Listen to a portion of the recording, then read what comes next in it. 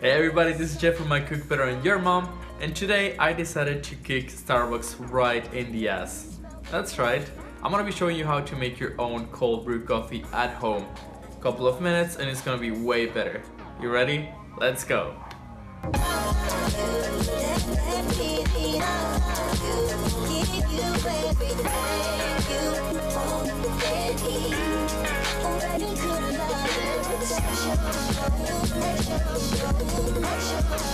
Alright, so this is very very simple you guys. All we have to do is mix our coffee in our water, but there's a little bit of a tricky part.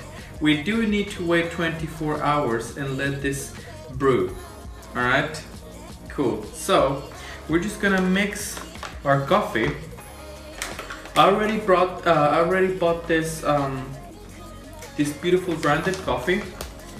Um, if you want to buy the coffee beans, by all means do.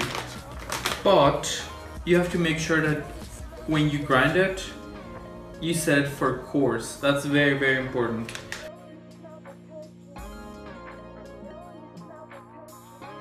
So, now that with our coffee's here, I'm a little bit scared that it might be a little bit too tight, but let's give it a try. Let's pour our water very, very slowly. It worked.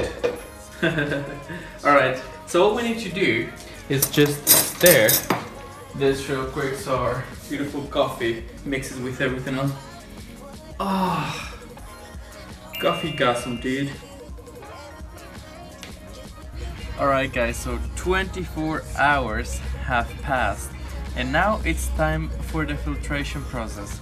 So here I've got a paper towel that I previously that I have previously uh, sucked in water so it's a little bit damp at the moment.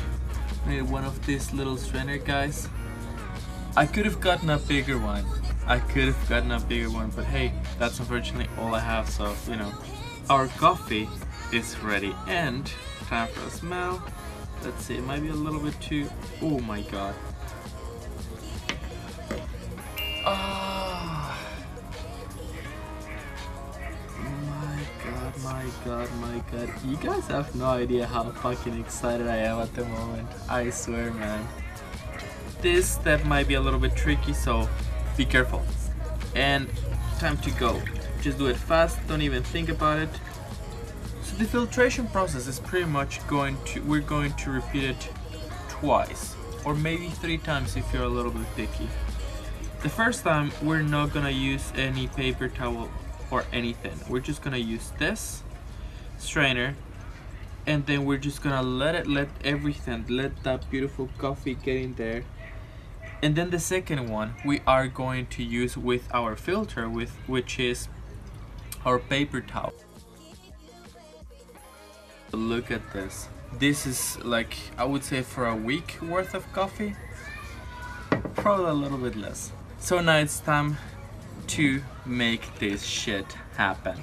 I've got this mason jar right here with I would say like halfway filled with ice or probably like three quarters so to this I'm going to add I would say like around a third my beautiful cold brew coffee. And there you go. And we are going to add our beautiful almond milk.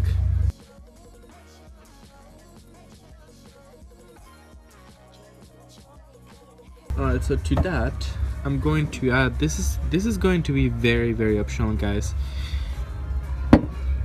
that's the one. The same one they use at um, at Starbucks, believe it or not. So this is totally optional, but it it gives it takes it to a whole different level though. So if you want to, I'm just gonna leave the, the description for it um, down below so you can buy it yourselves. There you go. I would say, what is that? Like, probably like half a teaspoon or like a teaspoon. So, this is it guys that is pretty much it. As always, remember to click the subscribe button, the like button, and if you've got any questions or whatever, let me know in the comment section down below. So this is Jeff from my Cooker and your mom, and I'll see you guys on the next one. Peace.